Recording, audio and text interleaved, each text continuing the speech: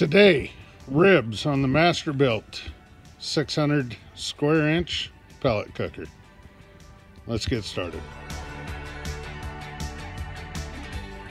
All right, just a quick look. Uh, your basic pellet cooker setup 16 and a half pound hopper, uh, manual, not uh, digital temp control, and that's fine. It does have uh, the ash door right there, or the pellet change out door, I should say. Um, and to be honest with you, for 235 bucks, you know, you're not going to get every bell and whistle. Let me get this closed up here a minute. And uh, for those of you looking around, those are not, not white sand beaches. This is Iowa. It is uh, the 16th. There you see my LBM. Uh, for the Daytona 500, we're doing up a couple racks of ribs on here. Um, oop, get your hand out of the way, dummy.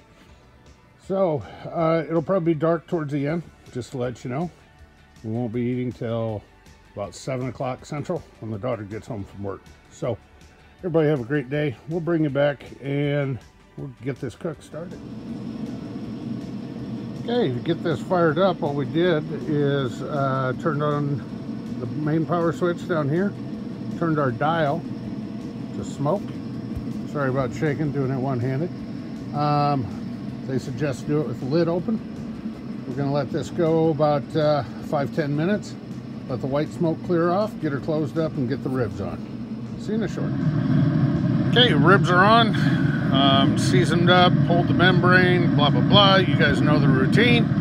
You've seen it a thousand times on YouTube, so no sense beating you over the head with it. Uh, this is a competition rib rub that I use. So we're gonna give that one a try today and we'll be spritzing with apple juice, apple cider vinegar. Bring you back when it's time. All right, we got it set. It's a little hard to see, but it is set to 225. The sun is not helping me right now. So 226 is the actual set temp. Let's see I can shade that. Maybe you can see it. There you can see it a little better. It's coming up temp 179, and there's your there's your set temp. So bring you back when it's time to spritz. One hour in. Let's take a peek. Oh yeah. Looking nice. We're gonna go ahead and spritz our engine sprayer.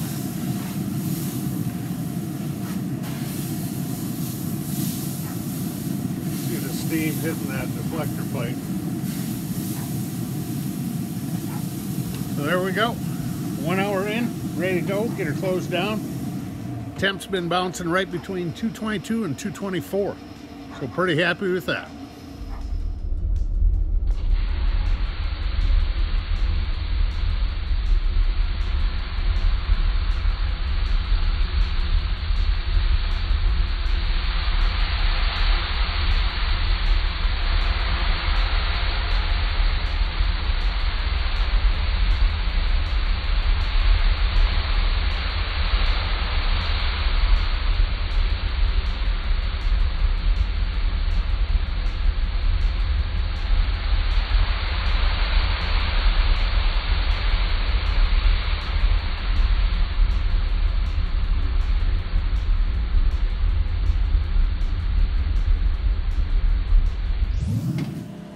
Ribs are off, time to wrap.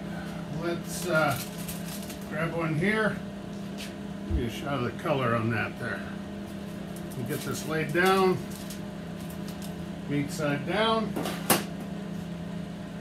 We're gonna add our honey. Just a nice drizzle on the back side there.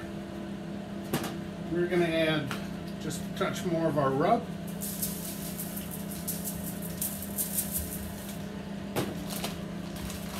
Brown sugar.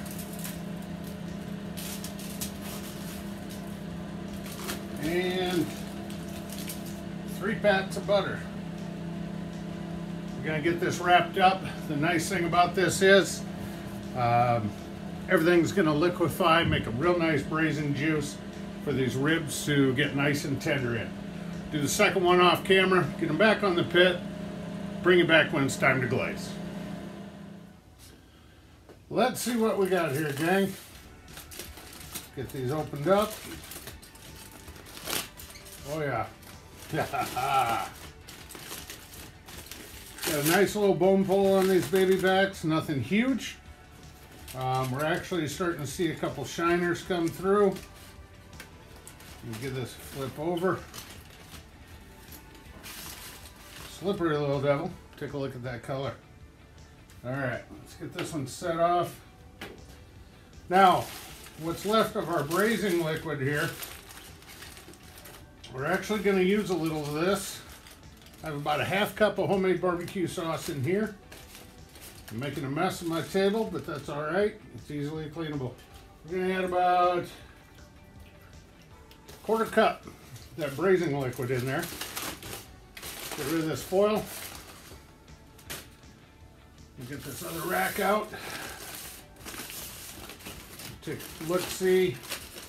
Tom Horseman term. Oh yeah. Seeing some exposed bones there. Gonna be nice and tender. Oh yeah, they've been nice. So, get these on our tray. Shove that to the side. Let's get this stirred up real well.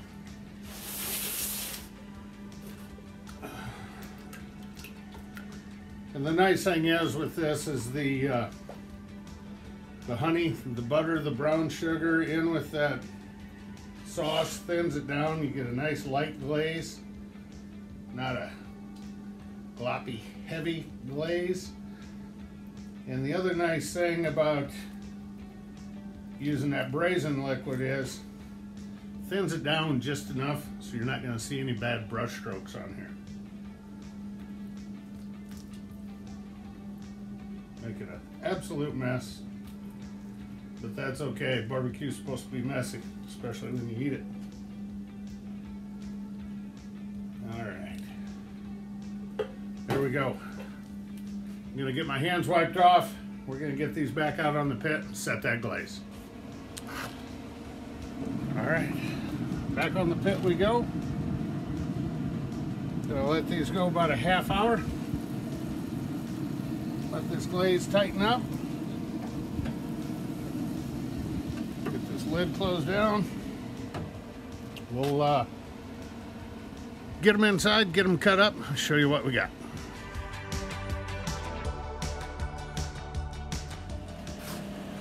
See what kind of job we did here, gang.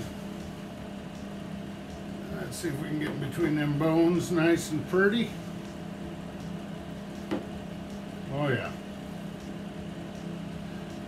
A few of these cut up. Still steaming hot.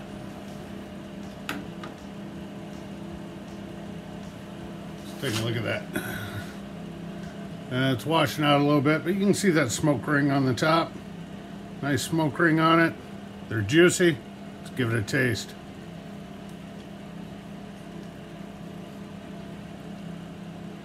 Absolute perfect bite. Nice, tender. Um, I will put the recipe for the rub that I used at the end of the video. And if I didn't mention it, uh, the pellets I used were half uh, charcoal and half of the whiskey barrel. So, you know what? This is good. I'm going to finish eating this. Get the rest of this sliced up for the family. Y'all have a great day. We'll see you next time. Thanks, gang.